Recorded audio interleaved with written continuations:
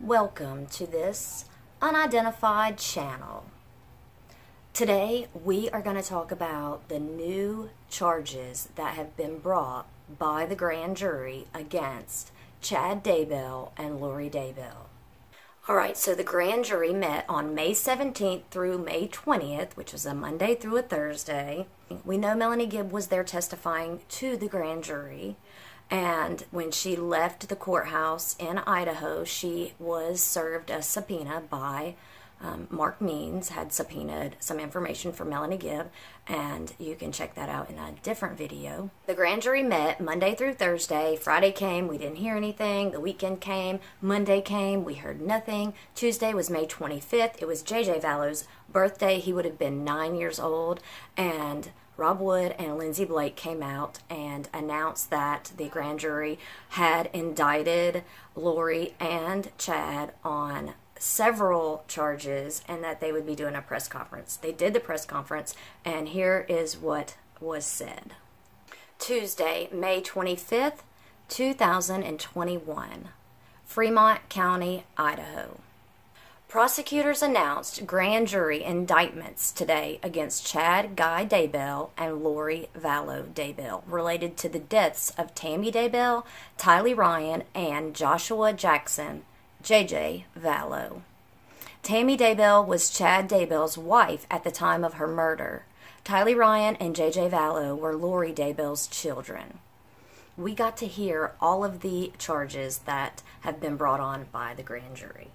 Here is what Lori and Chad are being charged with. Count 1 Conspiracy to commit first degree murder and grand theft by deception for the death of Tylee Ryan. Count two first degree murder for the death of Tylee Ryan. Count 3 Conspiracy to commit first degree murder and grand theft by deception for the death of J.J. Vallow. Count 4 First degree murder for the death of J.J. Vallow. Count 5. Conspiracy to commit first degree murder in the death of Tammy Daybell. Count 6 is only for Chad. First degree murder in the death of Tammy Daybell. Count 7 only for Lori. Grand theft related to Social Security survivor benefits over $1,000 allocated for the care of minors, Tylee Ryan and JJ Vallow, that were appropriated after the children were missing and untimely found deceased. Count 8 is only for Chad. Insurance fraud related to life insurance policy he had on Tammy Daybell for which he was the beneficiary and received funds after her death. Count 9 is for Chad Daybell insurance fraud related to another life insurance policy he had on Tammy Daybell, for which he was the beneficiary and received funds after her death. There are nine new charges that have been brought on. Today, which is June 9th, is the anniversary that the kids were found in Chad Daybell's backyard. Chad Daybell had his arraignment in front of Judge Steven Boyce. All nine counts were read to Chad, and he pled. On count one of the indictment, Mr. Daybell, how do you plead? Not guilty. We'll enter the not guilty plea on count one. On count two, how do you plead? Not guilty. On count three, how do you plead? Not guilty. On count four, how do you plead? Not guilty. On count five, how do you plead? Not guilty. On count six, how do you plead? Not guilty. On count eight, how do you plead? Not guilty. And on count nine, how do you plead? Not guilty. Very well. Not guilty pleas are entered as to all the counts in the indictment. Not guilty on every count. Did you watch it? If you watched it on the court cameras, it was very hard to hear the defense. You couldn't really hear what John Prior was saying, and you couldn't really hear what Chad Daybell was saying. However, Nate Eaton was in the courtroom and his video is way better. Go check it out on East Idaho News. He gets views of the people in the courtroom, which we know that Natalie Pawlowski, Kay Woodcock, and Colby Ryan were all there, and three out of five of Chad Daybell's children were there, and they sat behind Chad. Um, it was Garth and Emma and Seth. And they all wore masks, so you really couldn't see their face. However, Nate got um, Nate got video of the entire courtroom, and you are able to hear the defense through that video. We also found out today that Lori Daybell has been committed. We know when they showed up to court on May 26th for their first appearance after these new charges had been made. Chad Daybell showed up and he was read the charges, first appearance, and then he went away. And then when Lori showed up, we everything was postponed. We didn't even get to hear the charges read. And now we know that back on March the 8th, Mark Means had questioned her competency. Was she competent? And I guess he had taken that to the judge. They had her checked out. And, and the doctor that Mark Means hired had said, no, she is not competent. Rob Wood objected to that. And he objected to the continuation of the hearing that day of the first reading of the new charges. Your Honor, the state objects to the motion to continue. And the judge continued it, and then we found out that the doctor had found Lori Daybell not competent, and then Rob Wood contested that. He was like, no, I don't believe that. So he had his expert come in and analyze the data because he couldn't reevaluate Lori um, per the state laws of Idaho. He can only evaluate and go over the documents that the psychologist provided and had from their evaluation. Rob Wood's doctor reviewed that paperwork or that information, and he also decided there was nothing he could come up with to say she was competent. So Rob Wood had contested that Lori Vallow was competent. Then he withdrew his contest.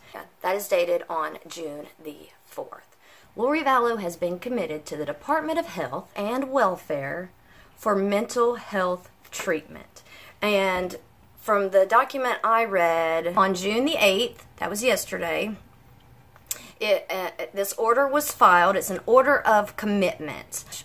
Lacks fitness to proceed slash competency. Somebody, I saw where somebody was saying that the name on the paperwork had been coming out with Daybell missing from Lori's name, so I wanted to check it out. So just on this document that came from the state of Idaho, it does have a reference of Lori Noreen Vallow as the defendant. So the document that Rob Wood filed, the withdrawal of contest, it shows Lori Noreen Daybell. So I've seen both. I've seen the Vallow, aka Daybell. I've seen just Vallow. I've seen Daybell. So I don't know if she is trying to pull back the Daybell name now, but Mark Means did go out of his way to have her addressed as Daybell. So we will keep an eye on that and see what's happening with that. What did you guys think of today's arraignment for Chad? Anything unexpected happen? Were you shocked to see the people that you saw in court? Did you watch it live or did you have to watch it on the replay or have you even watched it yet? I'm very anxious to see what's going to happen with Lori over the next several weeks. As soon as the doctors find that she is competent, they have to let the judge know, and then hopefully we can get her back in court.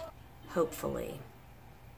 I didn't see Chad Daybell smile in court today. However, he did look into Nate Eaton's camera more than a couple of times. I saw him at least three, maybe four. I'm not sure. Did you see him? If you haven't watched Nate's video, go watch it.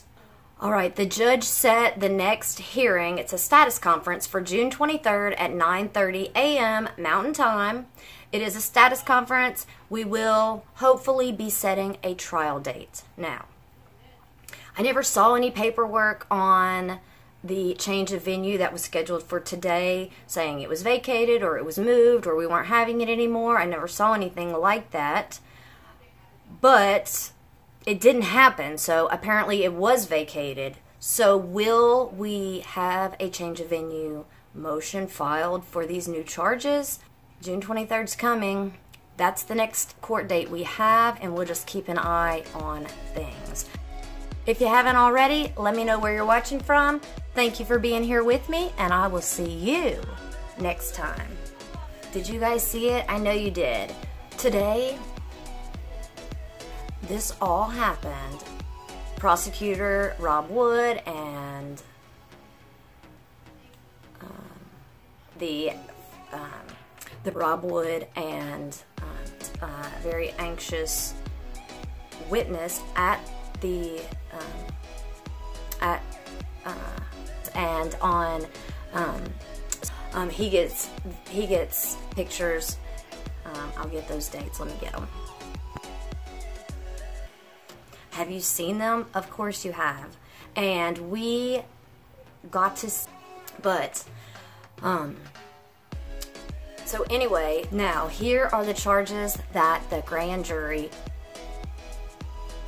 competency or lack lacks fitness to proceed slash and so mark means pulled back his um, we'll just have to wait. And so that um, mark um, rob wood's expert or rob wood's doctor ev- evaluated. And then um, Rob Wood, if you watched the the if you watched it on the court, um, yeah, well, that um, that the doctor had. Let's see. Is that how you say it? I don't even know. And the person, and the doctor, and the, um, and the doctor that and the doctor that Mark means. So we know we know in we that she had been um, and and the withdrawal of we'll just have to wait and watch. Did you hear it? It was murder charges. Um, yeah, that's that's pretty much it. That's uh. I don't know how to I don't know how to wrap this up because I don't know exactly where I left off. So, bye.